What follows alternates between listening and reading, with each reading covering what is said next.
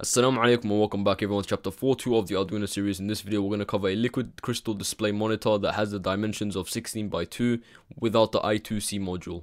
Now for the components, we're going to use a breadboard, 3 female to male jumper wires, a minimum of at least 13 male to male jumper wires, I'll explain why later, an LCD monitor, and a potentiometer. Now for the fact that my circuit is very disorganized in terms of the wiring, I'm going to use the diagram which shows everything clearly.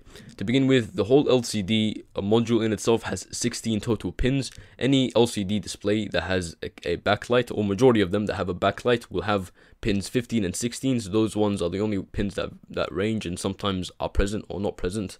In our case it is.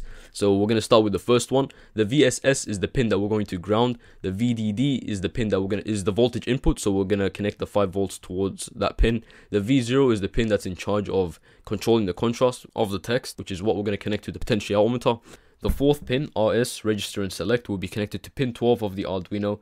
The fifth pin, read and write, RW, will be grounded. We have the enable pin, which is pin 6. We're going to connect that to pin 11. Now, the pins 7 till pin 14, these ones are dedicated for data transfer. Now, if you see here, I only have 4 pins out of the 8 connected. This does decrease the speed of data transfer since you're using two packages of 4 instead of one package of 8. However, the speed, the decrease in speed is not noticeable, especially for the fact that our circuit is very small.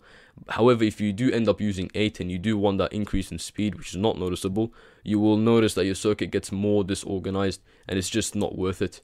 Now pin 15 and 16 are dedicated for the backlight and controlling it. The, the pin 15, you have to supply a voltage towards that pin, so it has to be connected to the hot wire, and the cathode has to be grounded. Now moving on to the potentiometer, either sides can be connected to the hot or cold wire, it doesn't matter, as long as your middle pin is connected to V0, the third pin of the LCD.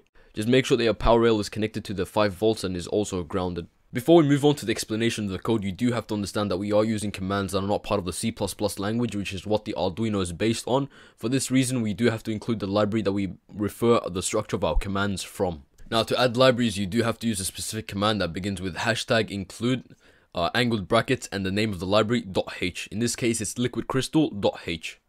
Now the next command that we have to learn and is important and has to be included every single time you use the liquid crystal uh, library is the liquid crystal LCD and then write down all your pins that you're going to use. In this case we are using the pin 12, pin 11, 5, 4, 3, 2, 1 which is all the pins that transfer data to the LCD monitor. Now I have replaced pin 11 and 12 with RS and E to show that we can use variables within the liquid crystal LCD command. Now in the void setup, we have to use a command that activates the communication between the Arduino and the LCD. In this case, it's lcd.begin and similar to the one that we've learned in the past about the serial.begin, instead of writing the baud rate, here we write the dimensions of the LCD. Now the first command that's found in the void loop is lcd.print, which is similar to serial.print.